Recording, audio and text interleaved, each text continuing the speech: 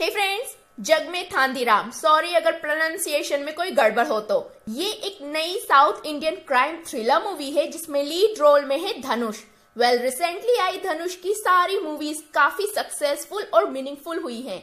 पर क्या धनुष इस बार भी इस मूवी में वो मैजिक ला पाए ये हम आपको बताते हैं। तो स्टार्ट करते हैं मूवी और उसके पॉजिटिव नेगेटिव पॉइंट से। मूवी स्टोरी है सुरली नाम के एक गैंगस्टर की जिसे फॉरेन में एक काम के लिए बुलाया जाता है। अब वो काम क्या है और सुरली के साथ क्या क्या होता है वो आपको मूवी में देखना होगा। वेल well, स्टोरी में गैंगस्टर और इमिग्रेशन के बारे में बताया गया है जो काफ़ी इम्प्रेसिव है।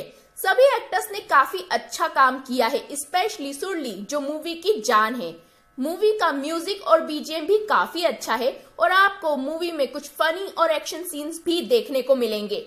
अब बात कर लेते हैं नेगेटिव पॉइंट्स की। मूवी की एंडिंग मुझे कुछ खास पसंद नहीं आई और लीड कपल के बीच इतनी जल्दी सब कुछ हो जाता है कि आप उनसे कनेक्ट ही नहीं हो पाते, जो साउथ इंडियन मूवीज़ में नॉर्मली नहीं होता।